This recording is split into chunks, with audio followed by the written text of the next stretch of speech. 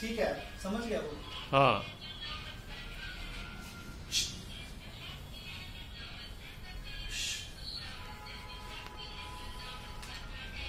ये YouTube पे famous होने वाली है फेसबुक पे।